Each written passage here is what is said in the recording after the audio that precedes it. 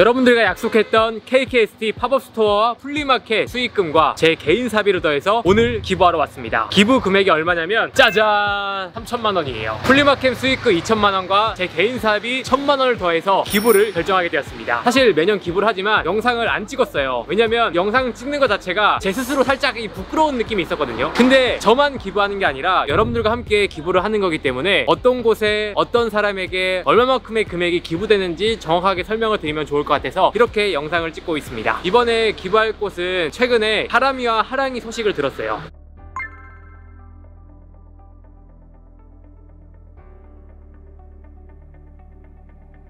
그래서 하람이와 하랑이에게 기부를 결정하게 되었고요. 보다시피 푸르메 재단을 통해서 기부를 결정하게 되었습니다. 그래서 이 아이들과 재단에 대해서 한번 설명드리기 위해서 방문을 했어요. 들어가 보겠습니다.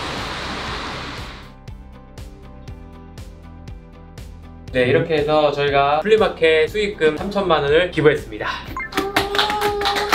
하람이 하랑이 쌍둥이 아이고요. 보행이 안 되는 아이들이었어요. 네네. 재활치료를 받으면서 지금 이제 이렇게 걸을 수 있게 됐거든요. 저희 쪽에 주신 기금은 이제 이런 아이들이 재활치료를 받아서 건강하게 자랄 수 있도록 지원하는 치료비로 사용이 될 것 같습니다. 아, 어떤 병명을 가지고 어, 뇌병변 장애 아동이어가지고 그럼 아이들이 재활 치료 받는데 혹시 비용도 좀 많이 들어가나요? 재활치료 자체가 본인 부담금이 조금 많이 있는 치료들이 음. 있는데 1회에 7만 원에서 10만 원 정도까지 되는 금액이 네. 있어서 그 금액을 어머님이 부담을 하셔야 되는데 이 지원금을 아마 사용을 하게 될 것 같습니다. 아, 쌍둥이다 보니까 그쵸. 비용이 또 두 배더 네, 들어갈 수 네, 있고 네. 지원을 받고 치료를 받으면 좋아질 수도 있나요? 네, 그럼요. 지금 이 아이도 보시면 어머님이 업고 다니셨는데 치료를 네. 꾸준히 받아서 기부를 도움받지만 걸을 수 있게 된 것처럼 아이가 나아질 수 있습니다. 오, 그럼 엄청 희망이 네. 될 수 있겠네요. 좋은 곳에 잘 부탁드리겠습니다. 네. 아, 감사합니다, 네, 부장님. 네. 감사합니다. 저희 구독자분들이랑 또 좋은 행사 있으면은 또 한 번 또 찾아뵙도록 하겠습니다. 감사합니다.